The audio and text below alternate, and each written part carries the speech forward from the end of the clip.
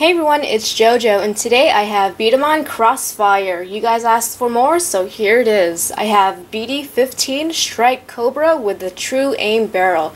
So I thought this was a pretty cool starter set for anyone just getting into B-Daman, just like myself. On the back of the box, you could see Strike Cobra with the True Aim Barrel attached and shooting down a target. These are the stats for a Strike Cobra with True Aim Barrel. It is a precision type. It has a stroke core, 3 points of power, 6 points of precision, and 3 points of rapid fire. Down here it says Battle Online. This comes with a code which I'll be giving away during the unboxing. And you could use this code to unlock special things on the B-Daman app and the B-Daman Battle website. So let's just get to unboxing.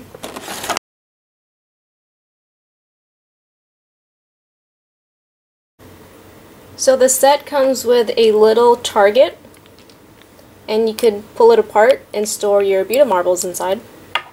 Also comes with the collector card with the code on the back. So this is Strike Cobra, the B-Daman, and there's the code for anyone who wants it. Also comes with this tool to customize your B-Daman and six Beat 'em marbles, one of them being an Ultra Beat 'em marble with the Strike Cobra insignia printed onto it. Now here's Strike Cobra and the True Aim barrel. Let's take a look at this B-Daman first. First of all, it looks pretty cool. Nice chrome core. Doesn't have a lot of stickers on it, very small stickers. Here's the back side.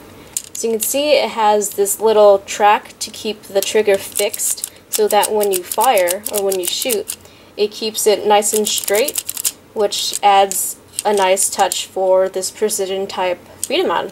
Also, something that the instructions didn't mention, and I had to find out by watching other YouTube videos, is that these uh, little things on the feet could come out right here, and it's kind of hard to pull out. So, I'm going to try and do it. So that one comes out pretty easily. And uh, here it is.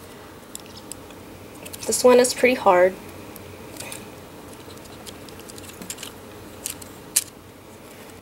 Oh, and it kind of just comes off if you pull it way too hard. So, But it kind of pushes back in just like that. So what it does, it gives it wider feet more surface area, keeps it more balanced, keeps it from wobbling too much, and it also adds a nice touch for this precision type B-Daman. So that is Strike Cobra. And this is the True Aim Barrel. Um, I was watching rollout reviews and he said that this is like a little copy of an old Plastic Gen grip, um, Plastic Gen Beyblade grip and it is, it's really small. And uh, I don't know, talk about lazy. I'm just kidding. No. Um, well, this Takara Tomy is also a manufacturer of B-Daman, so it kind of makes sense that they would take a design from Beyblade and um, put it with B-Daman. But uh, anyway, let's put this back. This is the true aim barrel. You would attach this to your B-Daman like this. If I could coordinate right. Alright. So just like that, and you would hold it up front and shoot just like that. This also comes up to give it some, I don't know, give you a nice targeting sight, but uh, it doesn't really help. It just kind of blocks my view. But uh, yeah, you could just keep it like this, and this does switch to the other side if you are left-handed or right-handed, or however you feel more comfortable holding it. Um, I actually like it on this side. So it's a cool feature for this set.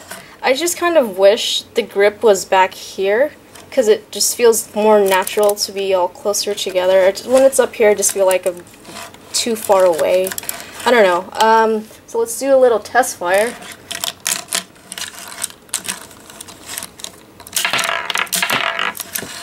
Nice B-Daman set. I really like this set. Um,